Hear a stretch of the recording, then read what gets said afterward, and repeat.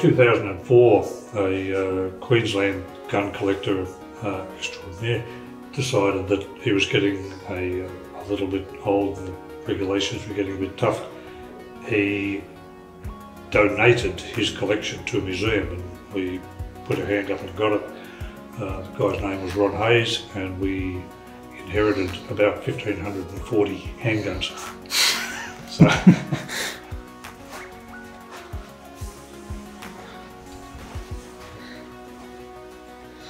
They, they range from the uh, absolutely prosaic to the absolutely exotic.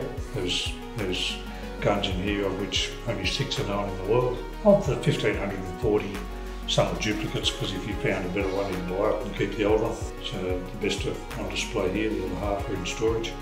He, he died two years ago.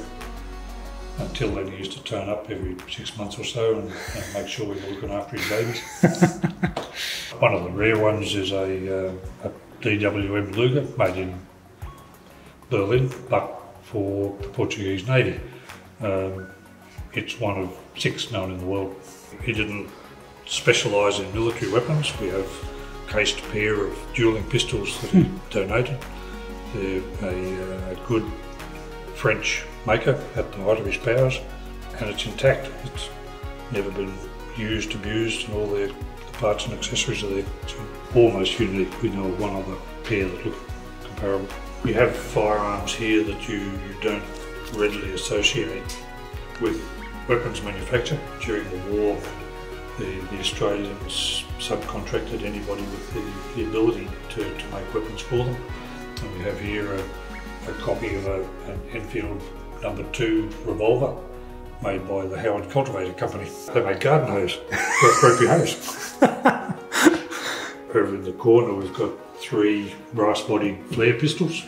Mm-hmm. Um, the, the three in the top right hand corner are a Webley, a Woolsey Lee and a CSR Sugar. as far as we know, our oldest Australian made firearm. It's a uh, single shot percussion weapon made on the Victorian goldfields by a blacksmith. Gun that a lot of people have, have heard of, not many people want to own one, is the Liberator, which was a, an American design from World War II.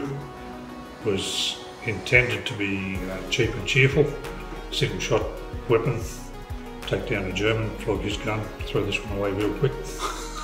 The contract to make them was let to General Motors.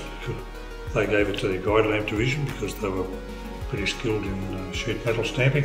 Two sheet metal stampings, bit of steam tube, spot welded together, and one eighth plate standing breech, 5 to 45 ACP bullet. The contract was for 1 million units. They filled that contract in 11 weeks at a unit cost of $2.38. Wow. Dardick was a, an oddball design from the 1960s. It was a revolver, but the uh, the rotor didn't have holes drilled through it. It had pie-shaped slots cut out of the outside of it. The uh, the bullet was round, but the cartridge was triangular, uh, and when it was primed, ready to fire, the chamber was the, the two sides of the V in the in the rotor and the top strap of the gun. They made about 1,500 of them that weren't a roaring success system. A lot, a lot of the guns in here, um, some of them are genuine improvements in technology. Some of them were some guy's idea of I can make a better gun than those can. And some of them were direct attempts to circumvent patents and copyright. have here one of the few remaining examples of a Kolibri, which is the, the world's smallest semi-auto centerfire. It fires a 2.7 millimeter bullet and I'm told that the manual recommends that you don't shoot at anyone wearing a coat because it's going to bounce. Peace was declared. They had a lot of machines and a lot of skilled labour and nothing to do. Right, and so you're showing us before that they there's a, a range of equipment, yeah, that we'll, we'll have a look at here. There's some some car looking parts here. How did When they the- come about? When peace was declared, the factory had a lot of machines, a lot of skilled labour, and nothing to do. And they wanted to attain as much of their capability as possible. So they went commercial, and intended for everything that was within their heavy engineering capability. So you, you can see uh, conrods and uh, crankshafts. They made pieces for railway rolling stock, plough tines for, for agriculture. They've still retained contracts with the military and there's, there's um, truck towing hooks, towing pintles, but there's other things that have nothing to do with the military. You can see there, there's a Telstra badge, and that's part of a, a mould for Telstra to make bits. Other items in here are ear tag cutters. They made lopping cutters for the uh, forestry, for, for tree pruning. Mm. Made golf clubs for Slazenger from 1935 to about 1980. There's a, a lot of items that we don't have more they made when there was no demand for guns, just to, to keep busy. I guess that's why it survived and actually had quite a Yeah, quite a history. and a very good reputation. Mm. They, they weren't always a commercial success. A lot of their, their stuff was made at cost or probably below sometimes, but their quality was unsurpassed. The metrology lab in the 80s and 90s was rated in the top five in the world. Wow. The factory had a very good working relationship with Slazenger, made golf club heads for the, the sporting company from about 1935 onwards for 50 odd years. Factory developed its own range of spanners. Brand was Zircaloy.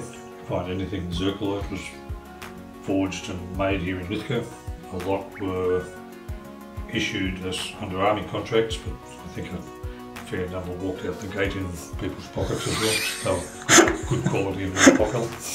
End of the war, Australia was pretty much depleted in terms of technology, and the, um, the government asked the factory to help budding inventors.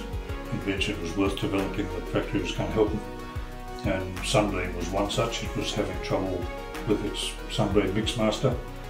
All the development work in the first batch of Sunbeams were made here in the factory before the, the dies and, and jigs were taken to the Sunbeam factory in, in Sydney. There's a uh, display there of outboard motor shafts um, made drill chucks, door openers, spanners, contracted to Borg Warner to make shafts and gears for gearboxes. We started making whole gearboxes when the P76 car, Leyland, was being developed. First engine blocks were machined here at the factory because they had the security and uh, secrecy to, to do it. Wow. The Pennock sewing machine was developed here.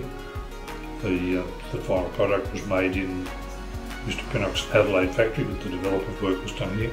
Having done the development work, the uh, factory wasn't backward in, uh, using it. There's a there's a photo in existence of about probably 20 sewing machines, and there's about five different brands on them. They just put a different sticker on them and set them out. During the Depression, the, the shearing industry was in trouble. Uh, couldn't afford the imported handpieces. The Government gave the factory a handpiece and said reverse engineer this and market it. The only people that weren't happy were the importers. The, uh, the factory was able to undercut their price and sell about 10,000 handpieces, basically saved the shearing industry. For a long time, factory has been making handcuffs, sold under the uh, SAF lock heading, used by corrective services and police in every state except Victoria. Uh, when moving pictures went from silent to, uh, to talkies, the, uh, the factory was involved in making the, the conversion parts for, uh, for cinema projectors. Where we are now is, is basically a new exhibit that the Arms Museum is putting together. And it's a whole stack of the old machinery that was used uh, that has been brought out uh, from storage and will actually be set up uh, in exhibit sometime soon. So uh, this will definitely be worth looking at.